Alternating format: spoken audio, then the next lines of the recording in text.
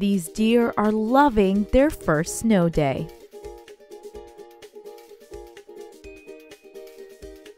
White-lipped deer at the San Diego Zoo Safari Park got an exciting treat when the zoo gave them their first ever experience in snow.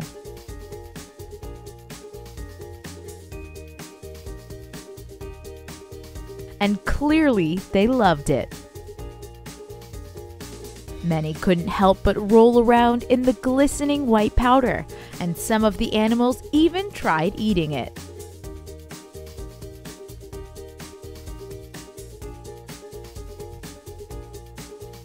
They're such experts in the snow, they might just be promoted to Santa's reindeer.